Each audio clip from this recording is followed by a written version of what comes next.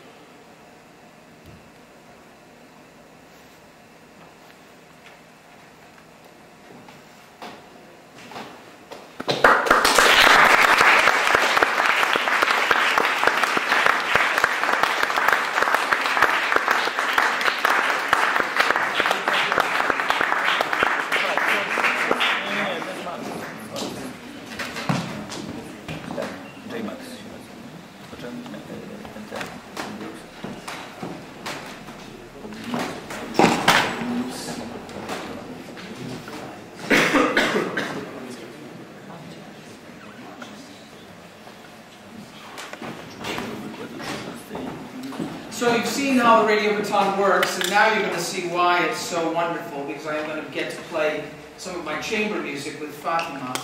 Um, so we've been using it as a performing instrument. It let me play a piano sonata that I wrote when I was 18 years old, but I'm not a good enough pianist to perform. It let me um, sing some of my songs and have it uh, accompany, accompany myself. It allowed me to do a sort of sound design improvisation for you, the granular piece, Grainstorm. And uh, it allowed us even to do a little remixing and DJ work. uh, with Luigi doing some uh, graphics, and so I was just doing some filtering and stuff like that. But now what we're going to do is uh, get the music stands up here and play the violin piece for you.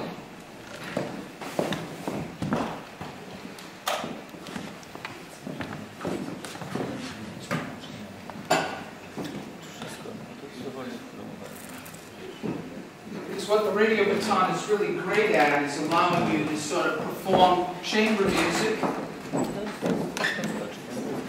on computers.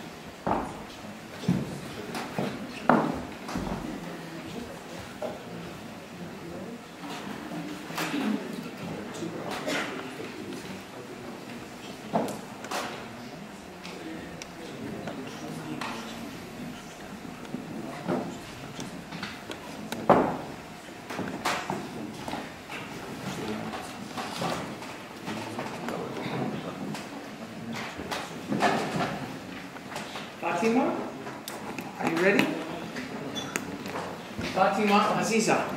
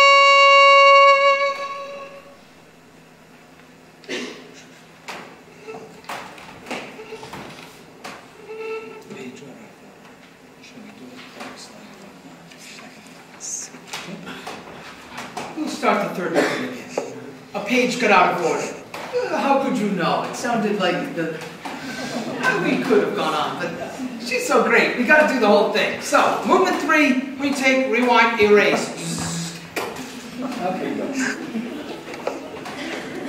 Now let's see if this radio baton can repeat itself. You know, Fatima, no problem, but this thing, who knows? Here we go.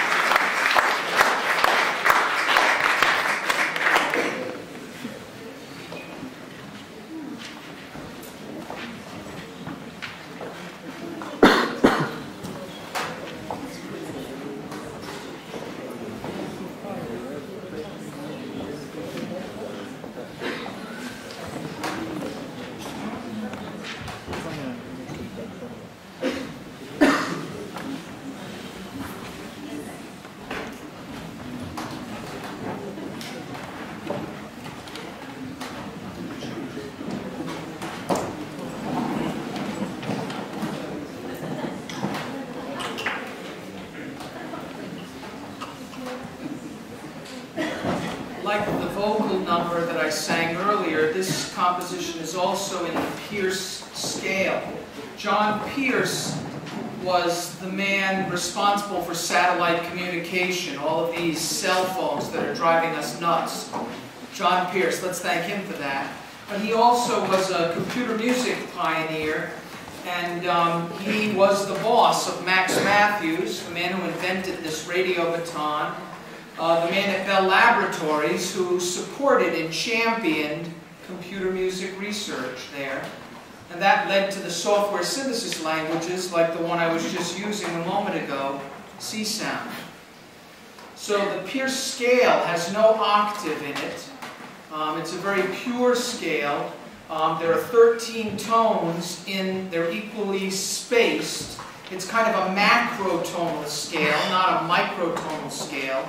There are some very interesting consonances and uh, some unique dissonances in the scale as well. Um, instead of the octave, the pure interval that the music sort of rotates around is referred to as a tritave, and it's an octave and fifth. I'll tell you three movements from I Know of No Geometry. Uh, Luigi will perform along with me in this piece.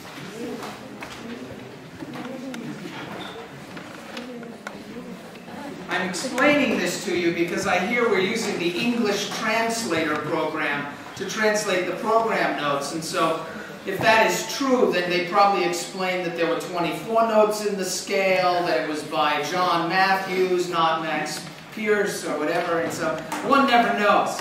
I found out I'm a lot younger and that I'm from a different town now. Thank you to the to that wonderful software. But here is I know of no geometry. Oh.